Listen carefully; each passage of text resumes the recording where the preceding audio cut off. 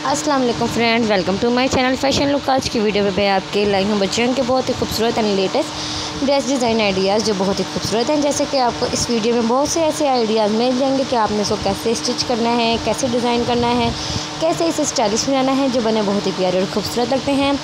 आपको बहुत से ऐसे डिज़ाइन इस वीडियो में मिल जाएँगे। आपने फ़्रॉक स्टाइल में डिज़ाइन करना है, आपने कुर्ता पजामा बनाना है या आपने शॉर्ट फ्रॉक बेल्ट में बनाना है या आपने ट्यूलिप शलवार के साथ आपने बनाना है, आपने बच्चों की निकर के साथ या फिर शॉर्ट फ्रॉक बनाने हैं, आपने किस तरह इसको डिज़ाइन करना है, किस तरह इसको स्टाइलिश बनाना है, जो ईद पे पहने बच्चों के बहुत प्यारे और खूबसूरत लगते हैं। ड्रेस जैसे कि आप इसे खुद भी स्टिच कर सकती हैं या टेलर से भी स्टिच करवा सकती हैं, जो बहुत ही खूबसूरत लगते हैं।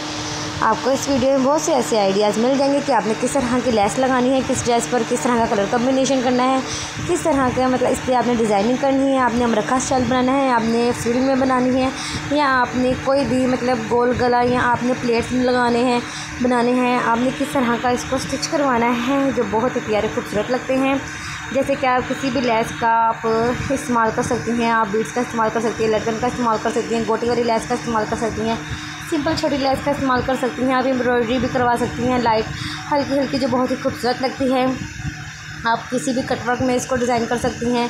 आप गोल कटवर्क या पत्ते में भी आप कटवर्क में बना सकती हैं। फ्रॉक्स जो बहुत प्यारे और खूबसूरत लगती हैं। आप गरारा स्टाइल में पजामा बना सकती हैं, शरारा में बना सकती हैं।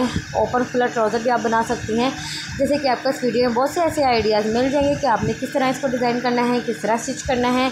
उम्मीद है मेरी आज की वीडियो आपको पसंद आएगी तो वीडियो को लाइक करें, मेरे चैनल को सब्सक्राइब करें, साथ ही बेल को प्रेस करें, ताकि मेरे आने वाली हर नई वीडियो का नोटिफिकेशन आप तक पहुँच सके। वीडियो को स्किप किए बगैर एंड तक लाजमी देखिएगा।